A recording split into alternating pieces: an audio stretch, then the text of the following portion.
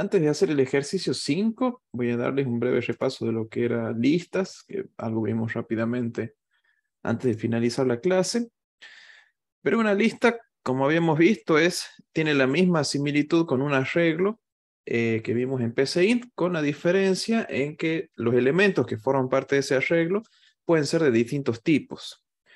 Y los podemos crear directamente en una variable, por ejemplo, una variable, una variable A, y directamente los podemos crear eh, encerrando entre corchetes los elementos que van a formar parte de esa lista. ¿sí?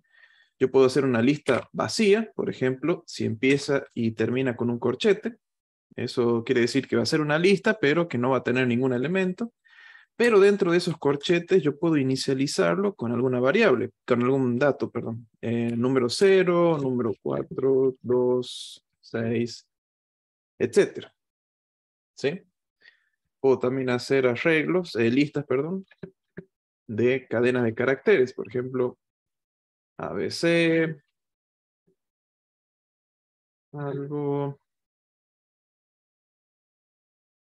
dato, etcétera. También puedo hacer listas que son mixtas, por ejemplo, un número, una letra, otro número, etcétera. ¿Sí? Esa es una de las principales diferencias por eso se le nombra lista y no se le da el nombre de arreglo, porque el arreglo es estricto en el sentido de que cada elemento tiene que ser del mismo tipo. Pero como Python nos da esa flexibilidad, no lo llamamos arreglo, sino que lo llamamos lista. Pero van a cumplir la misma función, una manera ordenada de, tener eh, datos. Para acceder a los elementos de la lista, lo hacemos de la misma manera que en PCInt, encerrando entre corchetes por ejemplo, si quiero mostrar el elemento, este elemento, el 4, yo lo que voy a hacer es colocar el nombre de la, de la lista, encerrar entre corchetes un índice, en donde que el índice me va a indicar la posición del elemento que yo quiero leer, empezando desde cero. ¿Sí? El primero que está acá, este cero que tengo a la izquierda, es el cero, posición cero. Este va a ser la posición 1, 2, 3 y 4. Entonces, si yo quiero ver este elemento, voy a tener que especificar la posición 1. Entonces, si yo ejecuto esto, que voy a poner un nombre.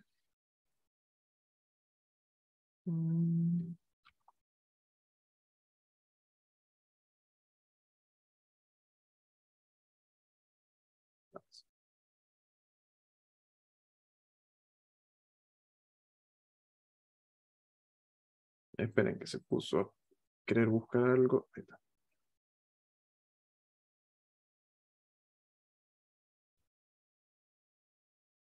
Ahí está. Voy a ver el número 4, que va a ser ese número que está en esa posición. ¿Sí? Acá las posiciones empiezan en 0.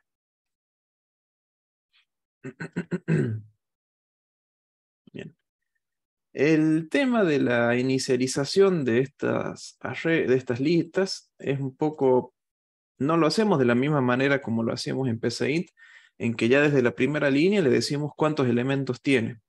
Porque aparte de tener la flexibilidad de que los elementos pueden ser de distinto tipo, yo puedo tener flexibilidad en la cantidad de elementos. Yo puedo empezar con este arreglo que tiene cinco elementos, pero enseguidamente empezar a agregarle o quitarle algún otro. Entonces puede cambiar el tamaño, pasar de ser de unos 5 a otros 6, 7 o más, o bajar a cantidad de elementos más chicos. ¿sí? Esa flexibilidad la tenemos acá con los arreglos, con estas listas.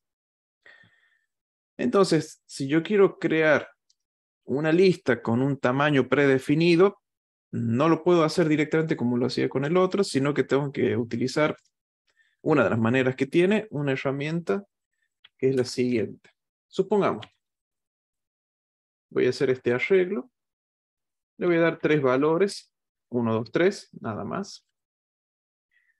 Pero a otra variable b, en este caso, lo que voy a hacer es una operación. Supónganse que a, ese, esa lista A la multiplico por un número, ¿sí? Yo a, la lista A, que tiene tres elementos, 1, 2, 3, yo la llego a multiplicar por 3, fíjense qué es lo que vemos, qué es lo que va a pasar. Voy a mostrar solamente el contenido de B, o sea, los elementos de este nuevo arreglo. Fíjense qué pasa. Voy a tener un nuevo arreglo. En este caso es el mismo arreglo A, pero va a estar repetido tres veces. O sea que si yo hago una operación de multiplicación entre una lista y un número entero, lo que voy a tener como resultado es esa lista repetida tres veces o la n cantidad de veces que esté multiplicando. ¿Sí? Entonces, si yo parto con una lista de tres elementos y lo multiplico por tres, voy a tener una lista con nueve elementos. Los elementos van a estar repetidos, ¿sí? A está repetido tres veces. Hasta, hasta acá está claro, ¿no? ¿Qué es lo que pasa con esta operación de multiplicación? Sí, profe. Bien.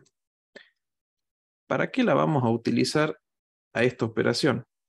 Simplemente para hacer lo siguiente. Supongamos que quisiéramos una lista de cinco elementos que estén inicializados en cero.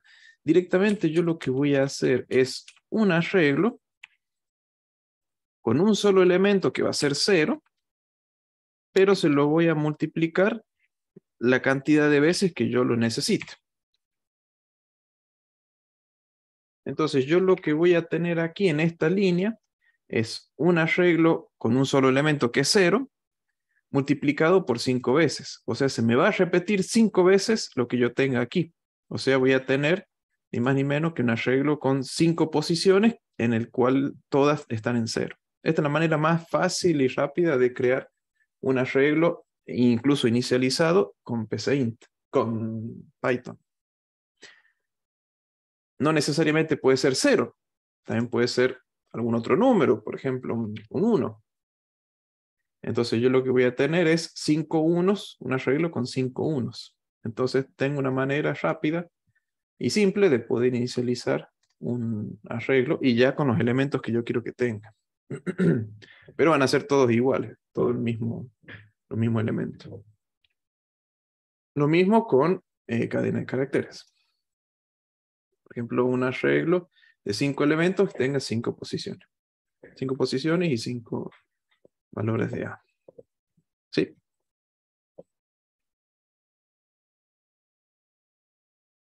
Bien. Con esta base podemos hacer el ejercicio 6. Empezando con la carga de esa lista. ¿Sí? Voy a volver a cambiar la pantalla para que vean cuál es el enunciado del ejercicio. Eh, esto.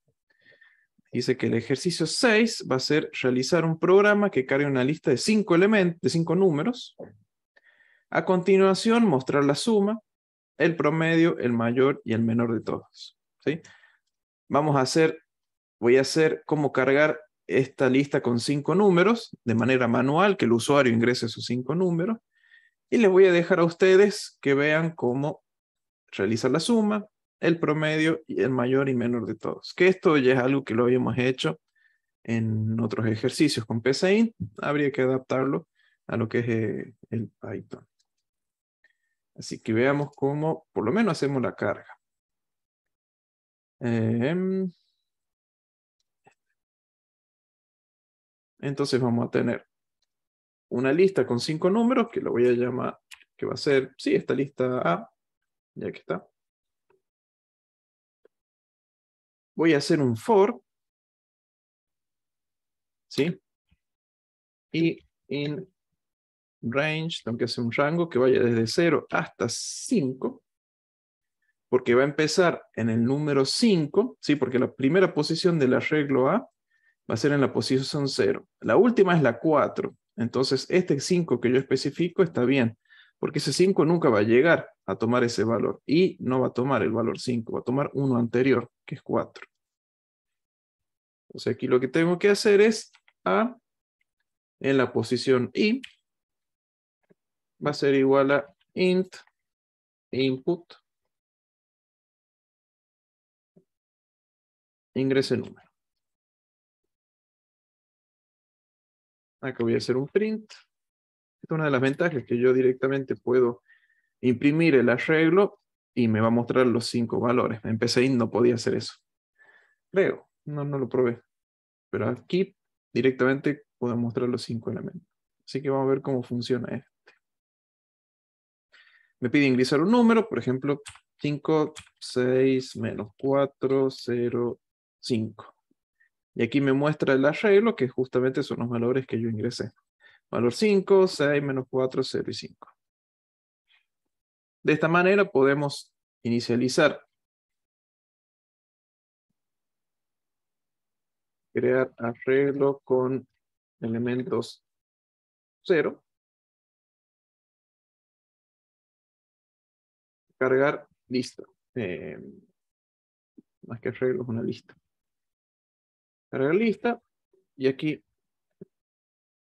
mostrar lista.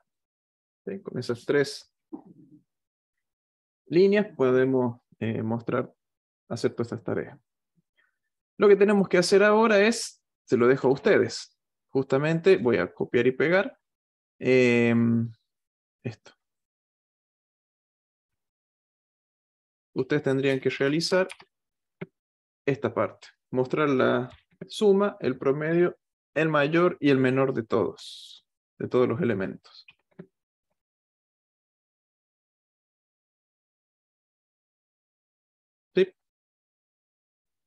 ¿Se entiende lo que tienen que hacer?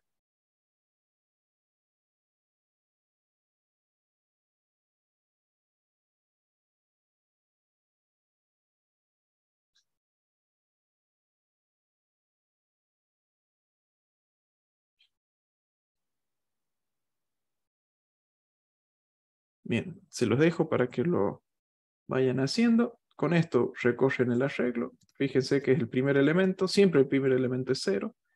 Este 5 que ponemos acá, el último es 4, con lo cual este nunca va a llegar a este valor de 5. Pero va a llegar hasta la posición 4. Pruébenlo, háganlo. Y vayan poniendo en el chat a medida que lo van resolviendo.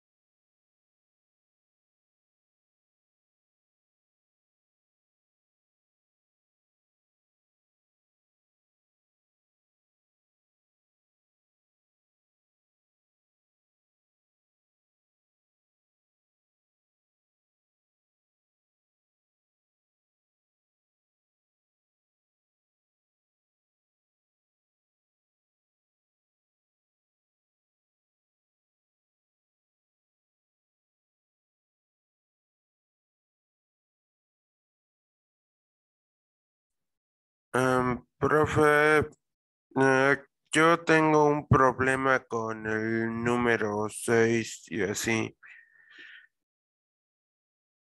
A ver, ¿cuál será? A ver, ya pongo para compartir. Mm, no voy a aumentarlo antes de compartirlo.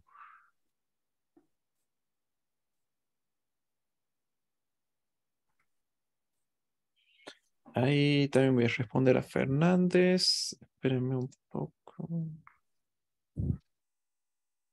Aquí está. A ver, Balmaceda. Aquí tengo antes esto. Hice un modelo anterior y con los hashtags fui quitando las partes y los que son comentarios están han puestos para seguir las partes funcionales.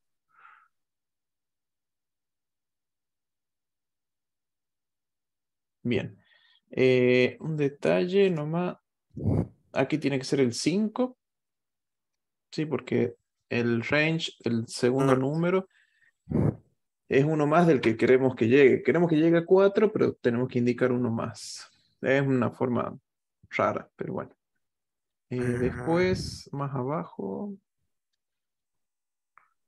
Está bien, está bien. Imprimir, está bien.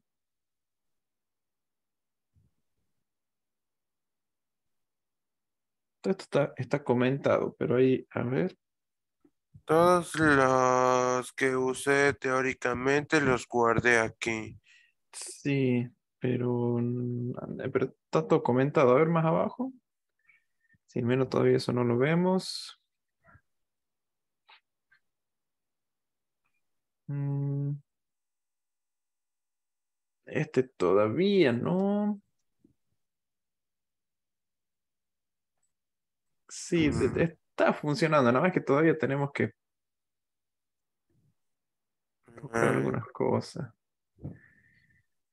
Ya, ya vamos a ver esta parte, sí, un poco más adelantado de lo que estamos por hacer. Es que busqué tutoriales por doquier Mm, y así. ujú. Sí, ya vamos a ver cómo vemos el menor y el mayor. Mm, Te diría que encare solamente el del promedio ahora, para que vayas sumando cada elemento del arreglo, y ya vamos a ver el, el otro. Bien, lo guardaré a este en los caches para, para poder usarlo luego. Bueno, Así descarto posibilidades y abro otras.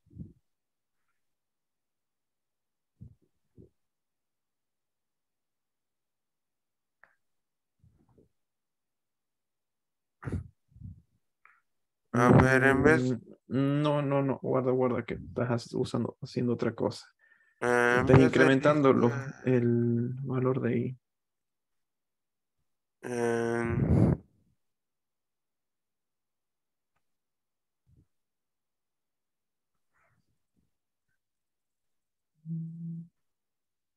Ah, cierto, por si acaso debería guardar esto.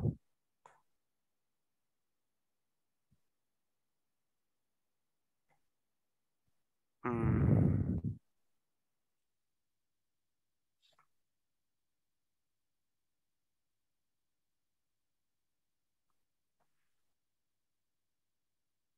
Aquí debería cambiarlo por otro, ¿no? Sí, pero no es este. eh, em, eh, Yo te diré que ahora veas cómo lo vamos a ir resolviendo, pero no, no se aproxima para nada de lo que, de lo que estamos por hacer.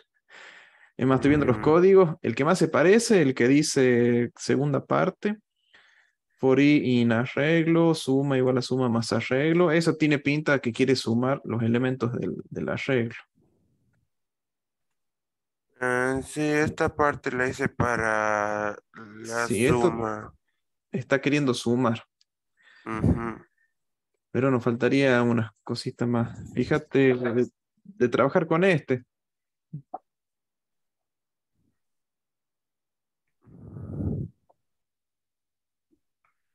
Bien. Ver qué puedo hacer.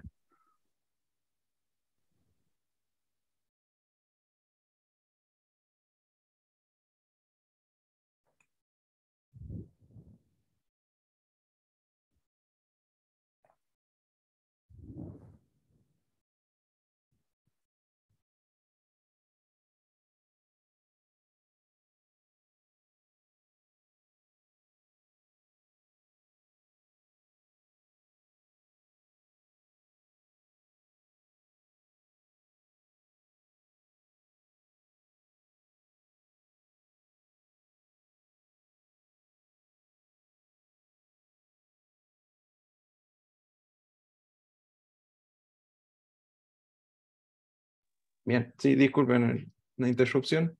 Este, mm,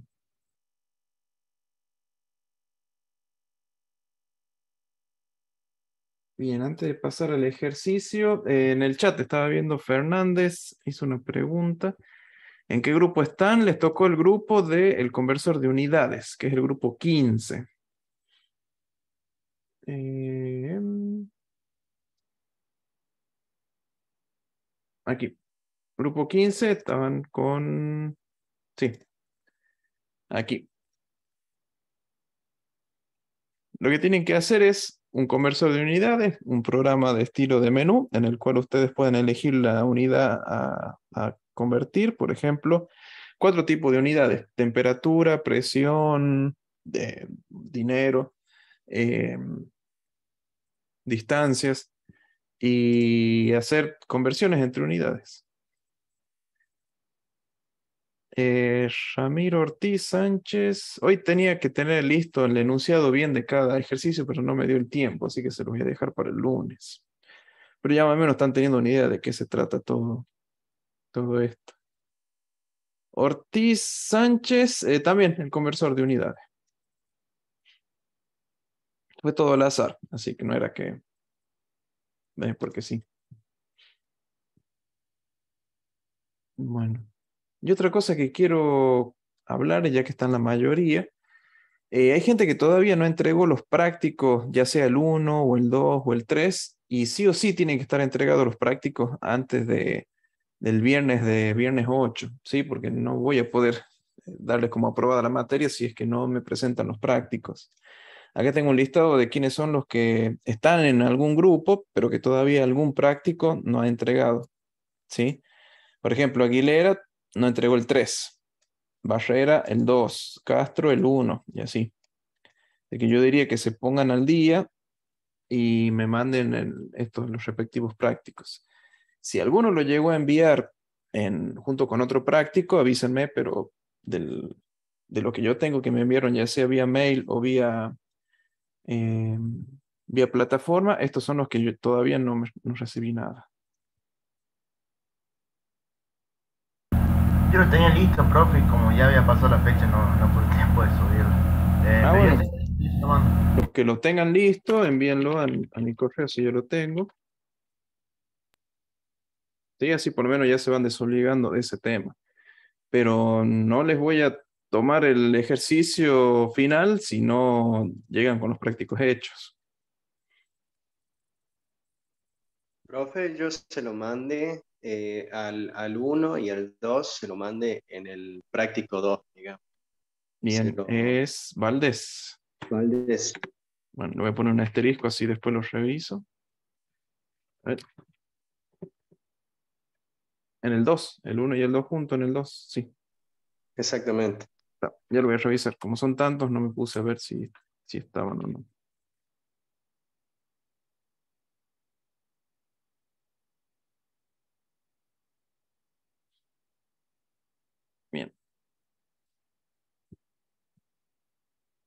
Ahí Lucas me envió. Bueno. Em, después hay algunos que tienen todos los prácticos entregados, pero no están en ningún grupo. Eso también me gustaría saber si está alguno presente.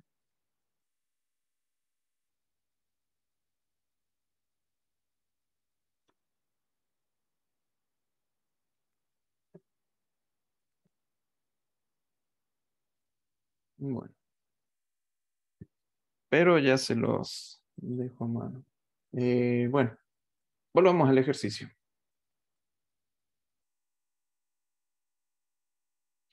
Eh, también he visto que el que primero que lo tuvo listo fue Rivero.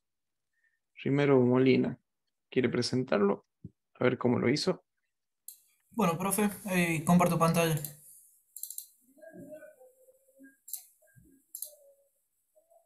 ¿Se ve? Sí.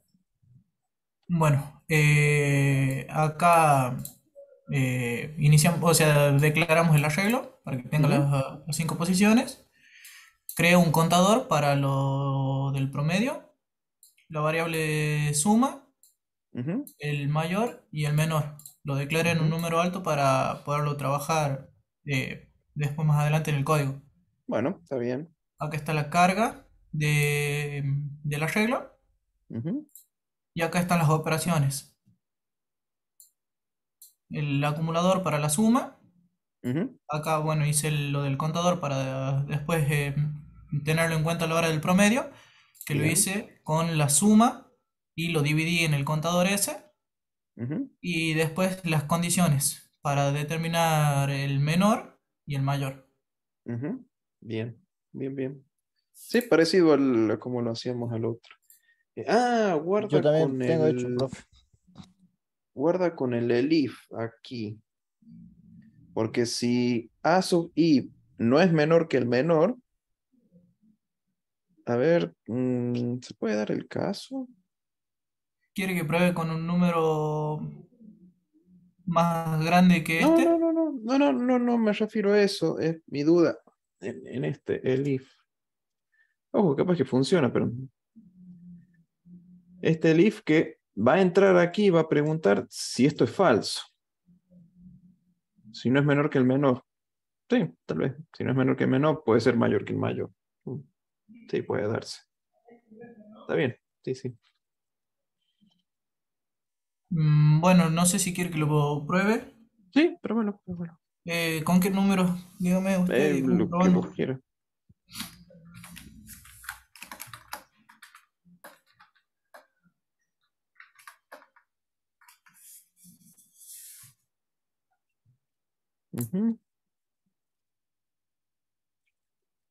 Ah, bueno, 30 en mi caso al promedio lo declaré como un entero, pero si no, si le saco el int, eh, si es eh, un número decimal, lo, lo muestra.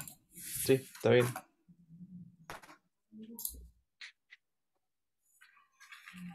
Eh, dos,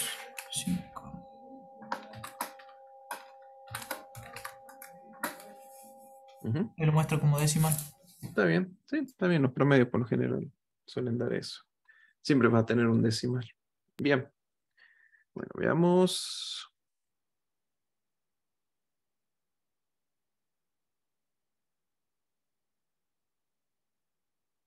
Eh, ah, no. Fernández dijo listo, pero listo seguramente por el grupo. Ah, bien, no tengo ninguno más. yo. Ah, ah, perdón, sí. Comparte. Ahí espera que estaba haciendo algo todo y no sé si se rompió. Ah, no, ahí está. Eh,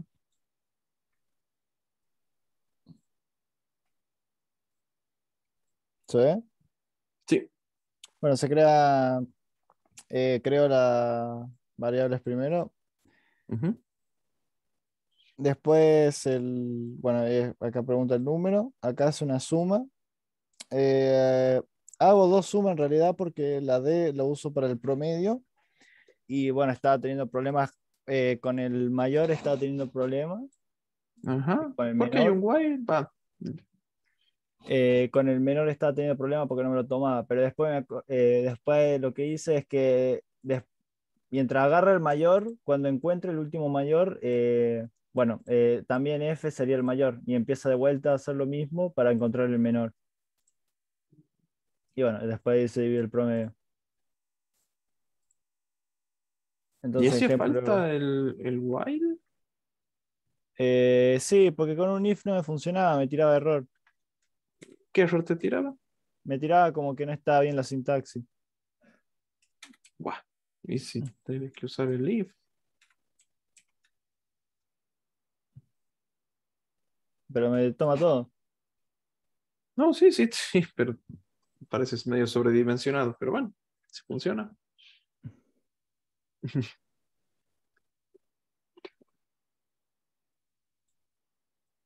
Bueno, em, les voy a mostrar lo que han hecho los compañeros, lo cual está bien. Eh, lo voy a replicar aquí. Supónganse, y de paso, para ir aprendiendo, un temita más. Volver a Profe. recorrer. Sí, Eh, podíamos usar también las funciones de lista, de suma y longitud de lista. todavía eh, no, porque justamente ahora se los iba a, a mostrar. Ah. Digamos, primero ver cómo es, como lo hacíamos de PCIN y ahora incorporar eso nuevo que vos decís. Ajá, bien. Por eso es lo, lo otro que estoy por agregarle. Eh, lo clásico que veníamos viendo es, ponemos, si queremos hacer la suma, igual a cero, aquí hacemos suma. Igual, ya podemos utilizar este, en el cual hacemos A sub i. Con esto vamos a tener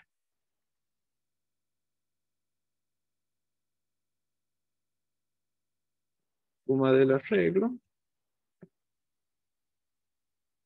en el que va a ser suma, y también el promedio del arreglo. De la lista. Estoy, todavía estoy con la costumbre de decir la- el arreglo. Eh, acá sería suma dividido en 5, porque sabemos que es 5.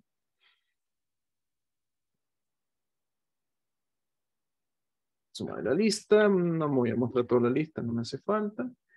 Pero con esto mínimamente resolvemos el tema de encontrar la suma. Yo voy a ir recorriendo este esta lista y voy a ir acumulando el valor de suma con cada valor de la lista. Entonces esto cuando se me... oye, me está faltando algo. Ahí está, ingreso un número, 4, 6. Entonces voy a tener un número 25 y 5 dividido en 5 va a ser eh, 25 dividido en 5 es 5. Hasta ahí todo bien. Ahora con el mayor y el menor, lo que habíamos visto en un principio era en PCIN tomar como valor inicial, por ejemplo, para el menor, tomar el primero, ¿sí? Hacer, elegir el elemento 0 del, de la lista y para el mayor también elegir el primer elemento, ¿sí? Para tener una referencia con alguno de los elementos que ya tenemos. Y aquí preguntar si eh, el A sub i es menor que el menor, entonces ahora pasa a ser el nuevo menor. Entonces menor va a ser igual a sub i. Y lo mismo con el mayor. Si el A sub i es mayor que el mayor, el mayor va a ser igual a sub i. Entonces directamente podemos hacer un print.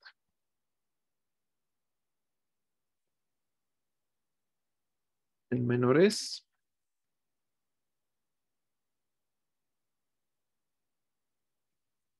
Men.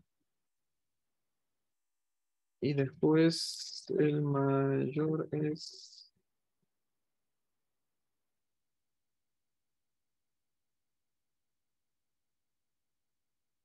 Esos números van a ser 28, el más grande es 8 y el más chico es 4. Sí. Sí, es la manera clásica que habíamos visto de poder encontrar el mayor, el menor de todos, el promedio y la suma y el promedio. ¿sí? Pequeñas mejoras podemos ir haciendo. Por ejemplo, aquí nosotros usamos el range para poder recorrer cada uno de los elementos del arreglo, que vaya desde el primero hasta eh, uno más del último, para poder utilizar ese valor de i y poder eh, utilizarlo. Nosotros podemos tener otra manera de recorrer el arreglo con otra sintaxis del for. ¿Sí? Por ejemplo, esto lo voy a comentar porque esto también sirve, nada más que ahora va a ser algo distinto. Sí, voy a comentar todo porque va a ser una, una nueva. Podemos hacer lo mismo de la siguiente manera. For, voy a poner e como elemento para darle otro nombre. In a. A va a ser la lista, ¿sí? Aunque mejor le pongo lista, así no utilizamos una, una sola letra, porque si no podemos confundir.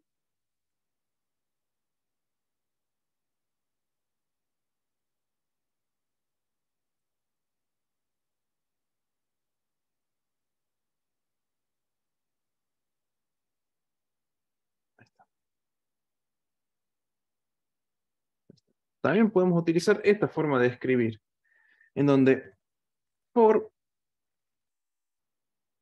ítem, voy a poner ítem, ahí está mejor que, que. Aquí lo que hacemos es, en este for, y con la palabra esta in, lo que va a hacer es, de todos los elementos que tiene este, esta lista, lo va a guardar en este ítem y lo vamos a poder utilizar dentro del arreglo, dentro del for. Ya no, tenemos, ya no tendríamos que especificar lista y un subíndice, sino que ya directamente el valor del, del ítem va a tomar el valor de cada uno de los elementos del arreglo. ¿sí? Acá veamos cómo funciona. Suma más igual ítem, ¿sí? porque ítem va a ser uno de los elementos de la lista, ya sea el elemento 0, el 1, el 2, el 3, etc. Si el ítem es mayor, perdón, es menor que el menor, entonces ahora el menor es igual al ítem. Eh, si el ítem es mayor que el mayor, entonces el mayor va a ser igual al ítem. Y todo los restos queda igual. Ingresamos los números.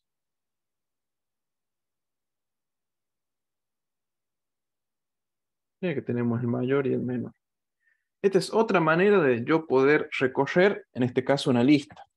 Yo puedo recorrer una lista con range, en el cual yo voy a tener una variable que me va a ir tomando los valores de cada índice de ese elemento, de cada posición de la lista.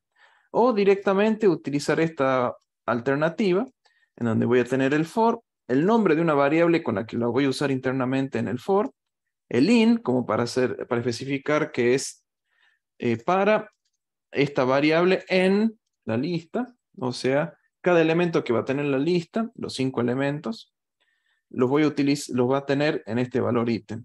¿Sí? Ítem, ítem, menor, etc. ¿Eso es como el, el for each de JavaScript? Exactamente. Profe, disculpe una consulta. El más menos, el más igual es, ¿qué significaría? Esto. En vez de escribir suma igual a suma más, o sea, tener que volver a escribir suma, directamente el más lo puedes poner acá y puedes eh, no tener que escribir otra vez suma. ¿Se entiende? Sí, sí, sí, muchas gracias. Funciona también con, con menos, con por, con dividido, ¿sí? Con por igual, dividido igual. Pero por general se, lo- se lo utiliza con más igual. Profe, ¿me escucha? Sí. Sí, disculpe. Entonces, eh, este nuevo, la nueva parte este del ítem. O sea, es, hacemos todo el mismo procedimiento que hicimos anterior, que ya lo teníamos arriba, digamos. Sí. Y este ítem, o sea, vendría a ser otra forma de recorrer el, el arreglo que, que hicimos arriba, ¿verdad?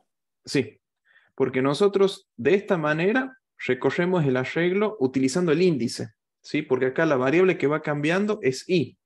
Con ese valor de i, que primero vale 0, después 1, después 2, después 3, lo voy a utilizar como índice para leer ese elemento de la lista. Si Claro, no me hace falta acceder al índice, porque quiero recorrer a todo el- la lista, yo puedo utilizar esta otra nomenclatura, en el que voy a especificar el nombre de una variable que va a ir tomando no los valores del índice, sino los valores de cada elemento de la lista. Entonces, en una primera vuelta, este ítem va a tomar el valor no cero para utilizarlo como índice, sino que va a tomar el primer valor de la lista, por ejemplo, el valor 5. O sea, ítem va a tomar el valor 5, entonces suma se va a incrementar en 5, ítem va a verificar, eh, 5 se va a verificar con el menor, que es justamente 5, y después el mayor igual. ¿sí? Y después en la segunda vuelta, ítem va a tomar el valor 6, en la tercera vuelta 84, después 2 y después 1. O sea, ítem no va a tomar el valor del índice, va a tomar el valor de uno de los elementos que ya está en el arreglo. Entonces, me, me permite saltear un paso. No tengo que utilizar un índice para acceder a una posición de la regla, sino directamente ah, eh, eh, tomo el valor del, del, del elemento. Ya no me desprendo del índice, ya voy con el elemento. Pero hay casos en los que necesitamos el índice. Entonces, en ese caso, sí, tendríamos que utilizar algo así. Aunque creo, si no me equivoco, quiero probar que si ponemos coma e i y toma el valor del índice. Ojo, esperen, estoy por probar. Eh, no me acuerdo. Vamos a ver si es así. No, no era así. En otros lenguajes sí. Estoy haciendo memoria. Pero no, si tenemos que eh, tomar el elemento de la lista, vamos con este. Si necesitamos el índice por X causa, vamos a tener que ir con esta, la forma clásica. Claro, es que en ese caso, por ejemplo, sería que tuviésemos que trabajar con determinados elementos y no con todos los del arreglo. Creo que podríamos utilizar en rango. Claro, porque el otro sí o sí te toma todos los elementos. Sí. Sí, sí.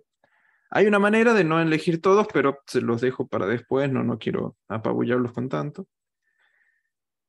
Bueno, estas son las maneras, otra manera de ingresar, de recorrer el arreglo, cuando tenemos que recorrer a todos, es cómodo, no tengo que basarme en un índice, sino ya sé que es esa posición. Pero todo esto se puede resolver de una manera un poco más rápida. Un poco más rápida, no, más rápido. Se los dejo acá comentado para que vean de qué se trata.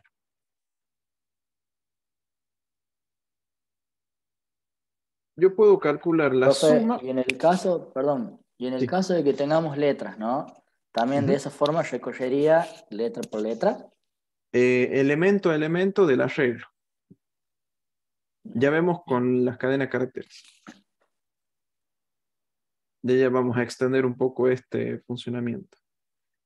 Ahora vean para la suma, eh, Python nos ofrece una función que ya directamente nos realiza la suma de todo el arreglo, que es sum. Con sum y la lista, ya tengo la suma de, de todo. Y si yo quiero el promedio,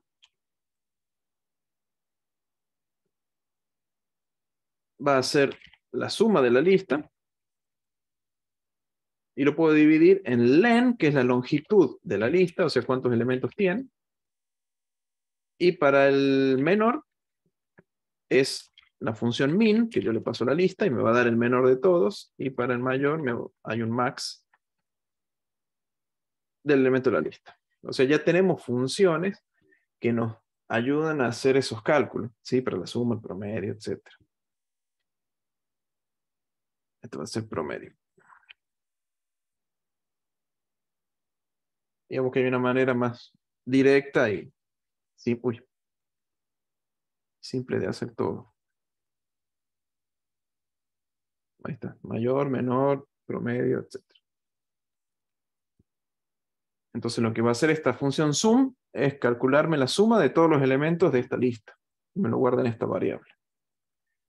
Esto hace lo mismo, pero le divido con len. Len es longitud en inglés, length es longitud en inglés, que me va a dar cuántos elementos tiene esa lista. Min lo que va a hacer es devolverme el menor de todos y max me va a devolver el mayor de todos de la lista. Digamos que ahora se simplifica un poco el trabajo, pero bueno, no está mal ver la forma clásica. Profe, ¿y hace falta que hagamos un for antes o no? No, solamente para cargarlo.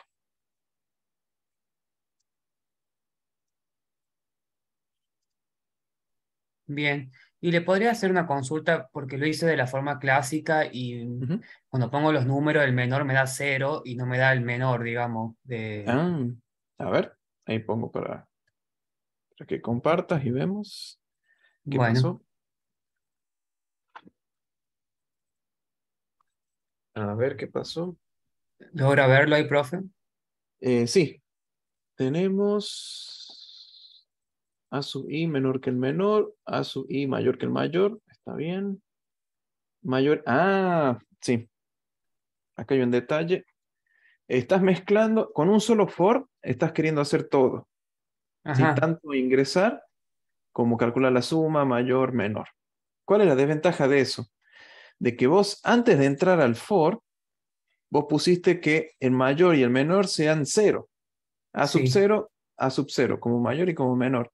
El tema es que esos valores lo va a tomar de la lista inicializada en cero. Ajá. Entonces, para que sea menor que el menor, sí o sí tiene que ser un número negativo. Cualquier número que ingreses que sea positivo va a ser mayor que cero, entonces nunca va a entrar a esta parte. ¿Lo ves? Bien. Sí, sí. La idea es separar esta parte en otro y esto ponerlo en el segundo, antes del segundo for. Claro, hacer otro for, digamos. Sí, sí, sí, Bien. sí. Bien, bien. O a menos Gracias, que te fijes, si es el primer índice, lo tomas como menor y si no, haces el resto eh, de los cálculos. Esa es otra alternativa para mantener esta estructura. Ya ¿Cómo no te haría falta. A ver, si quieres lo probamos. Eh, esto ya no te haría falta, lo puedes sacar tranquilamente porque ya el mayor sale de otro lado, pero sí puedes ponerle eh, mayor igual, sí, a cero y menor igual a cero para inicializarlos, para que tengan algo. Mayor. Perdón, acá, lo que borraste, Sí. eh, ponerlo aquí y aquí, mayor y menor, inicializarlos los dos en, en cero. Más igual a cero y men igual a cero. Para que tengan algún valor, simplemente eso.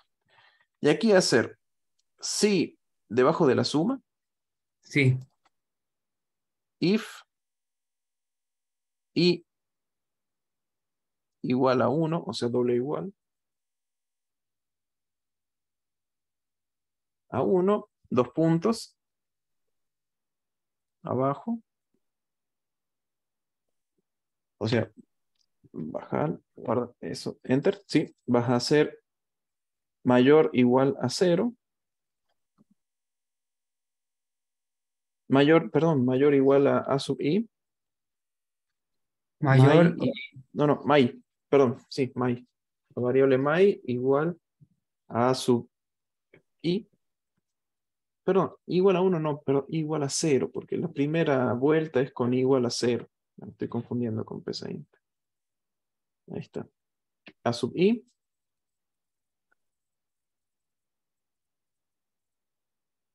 Y también menor igual a sub i. Bien.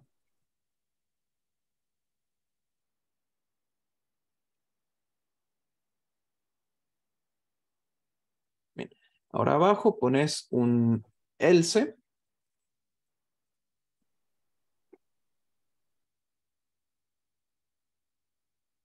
Dos puntos. Y las cuatro líneas que tenés abajo las moves eh, todas para la derecha. Sí, un tab para la derecha, todo. Esto también y esto también. Hacia allá. Ahí está. Entonces, en la primera vuelta no va a ser ninguna comparación, sino que vas a asignar que el mayor va a ser el, el elemento, el elemento 0 porque i vale 0. Pero ya para 1, 2, 3 y 4 van a preguntar si son mayor que el mayor o menor que el menor. Y ahí se asignan los nuevos valores. Genial. Lo pruebo, prof. Bueno, Pongo 1, 2, 3, 4 y 5. Ahí está. ujú, Gracias. bueno. Bien. Si entendieron bien, entonces están en condiciones de poder hacer el ejercicio 7. Profe, disculpe, ponga un ratito las funciones nuevas, esa que ver. Bueno, y voy a poner el enunciado este, así ya lo van, a- lo van haciendo. El ejercicio 7.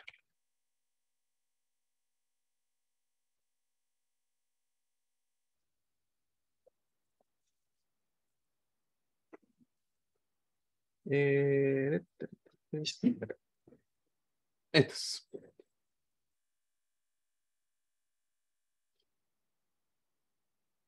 Había uno Listo,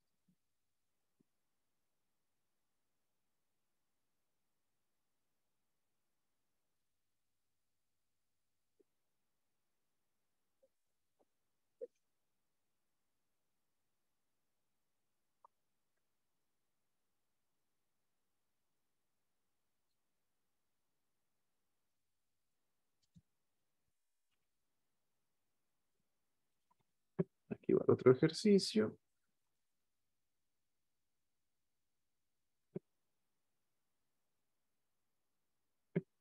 Van a ver que es muy parecido, más que ahora van a hacer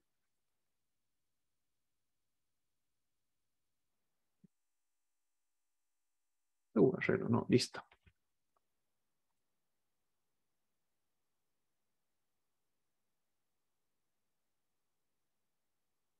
La manera de encontrar un número eh, negativo, y dale con el negativo, em, aleatorio es con, espérenme,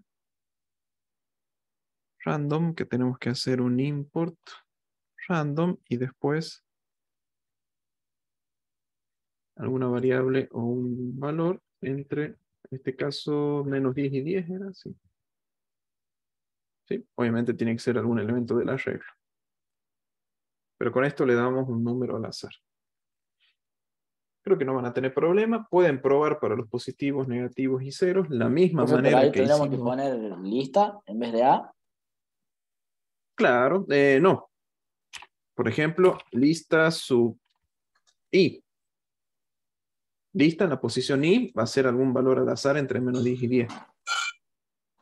Et- Esta función que está aquí me devuelve un solo número. Un número entre menos 10 y 10.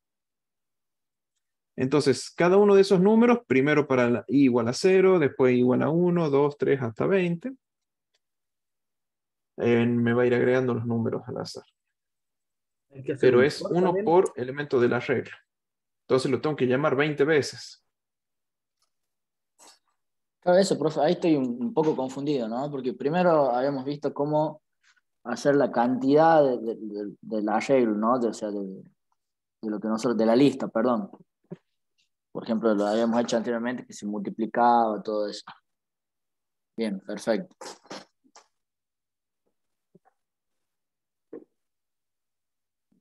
Listo, ya está cargado. Ya le hice la mitad del ejercicio. Bien, perfecto. ¿Sí? Hago una lista con 20 ceros. ¿sí? Tiene 20 elementos. Recorro el arreglo de 0 a 20. Y le voy dando cada uno de los valores con un valor al azar. Entre menos 10 y 10.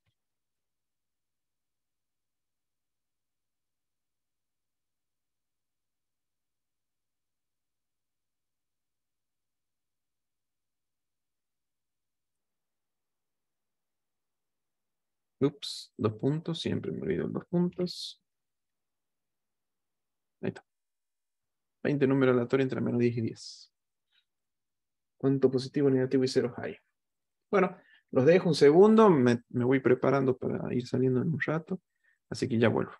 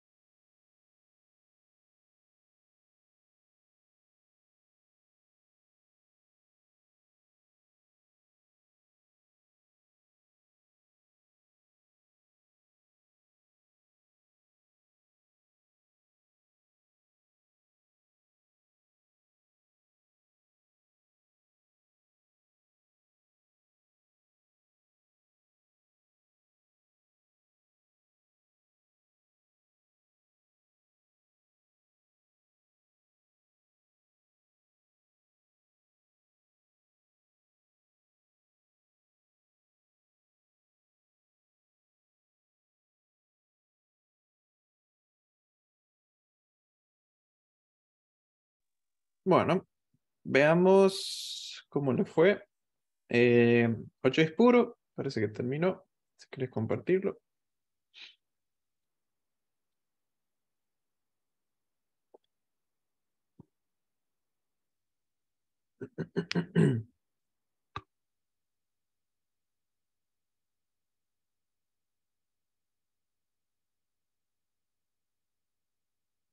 ¿Ocho es puro? ¿Está?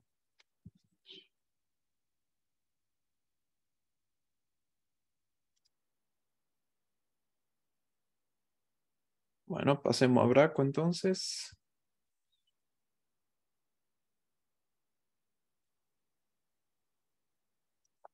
Ahí comparto, profe. Bueno.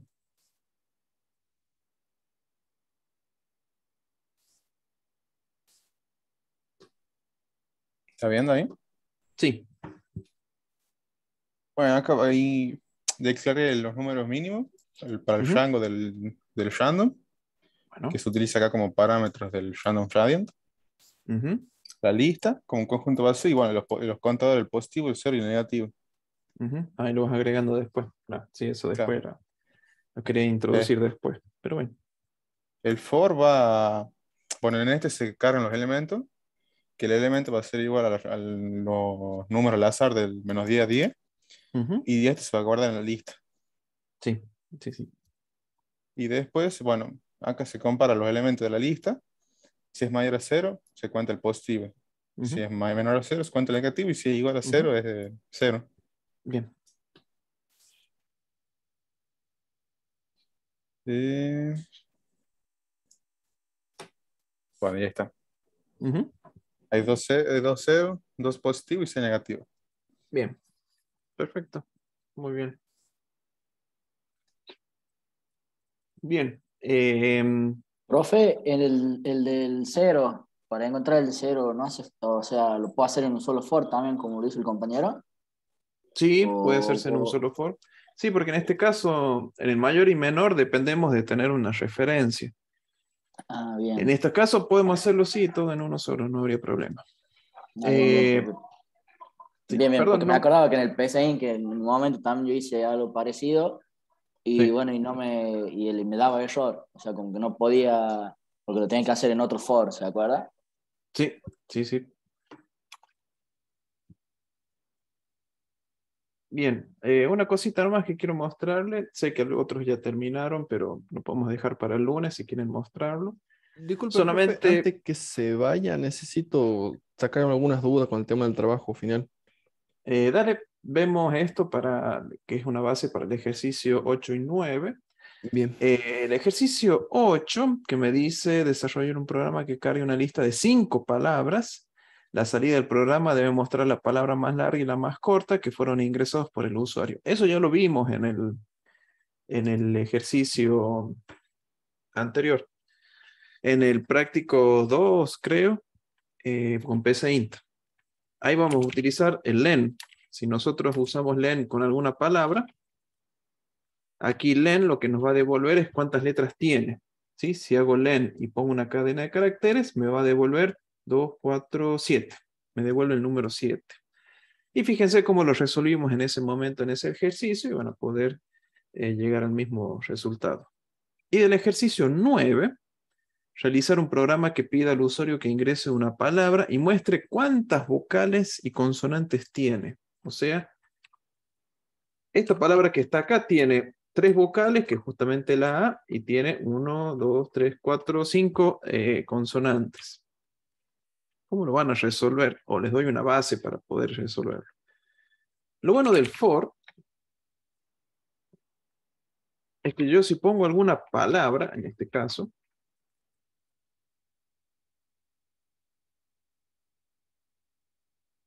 lo bueno del for, o en realidad lo bueno de la cadena de caracteres, es que la cadena de caracteres lo podemos ver como una lista de letras, ¿sí? En el, es una lista en el que cada elemento es una letra. Entonces yo puedo hacer esto palabra igual a, eh, no sé, mm, bello, no sé, algo por el estilo. Vamos a en minúscula para no complicar.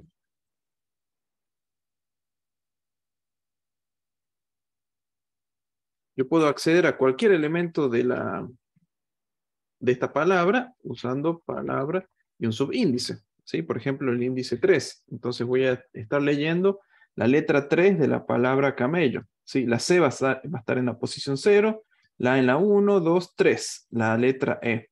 Así que cuando ejecutemos esto, lo primero, se me olvidó dos puntos. Lo primero que ejecutamos va a ser la letra E, que va a ser el que está en la posición 3. Y yo puedo utilizar tranquilamente esa palabra como vimos recién para recorrer una lista en donde tenemos for, letra, in, palabra. Así que tranquilamente vamos a tener cada una de las letras, la C, la A, la M, la E, la L, etc.